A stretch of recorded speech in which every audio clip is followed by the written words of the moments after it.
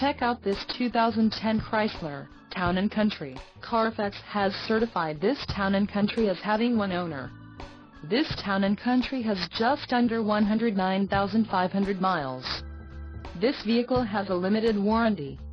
This vehicle gets an estimated 16 miles per gallon in the city, and an estimated 23 on the highway.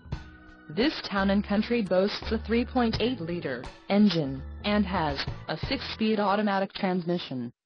Additional options for this vehicle include power driver seat, auxiliary audio input, climate control and driver airbag.